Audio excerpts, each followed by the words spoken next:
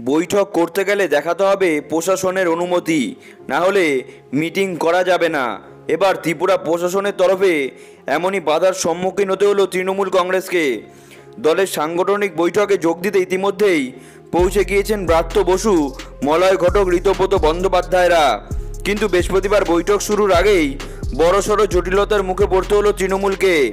জানা গেল, পুলিশ অনুমতি দিচ্ছে না এই বৈঠকের। সূত্রের খবর বৃহস্পতিবার আগরতলার মার্স নামের একটি হোটেলে তৃণমূলের প্রস্তুতি বৈঠক চলছিল। উপস্থিত ছিলেন ডেরে কোবরায়ন ও কাকলি ঘোষ দস্তিদার ছিলেন মলয় ঘটক, ব্রাত্য বসু সহ স্থানীয় নেতাকর্মীরা।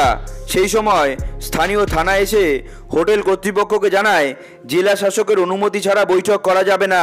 এই নিয়ে পরে পুলিশের সঙ্গে কথা বলেন মলয় ব্রাত্যরা। পঞ্চাশ জনকে নিয়ে বৈঠক শুরু করার কথা রয়েছে ওই হোটেলে। এই নিয়ে প্রশ্ন করা হলে ডেরেক ওব্রায়েন মন্তব্য করেন, খেলা শুরু, তাই ভয় পেয়েছে ওরা।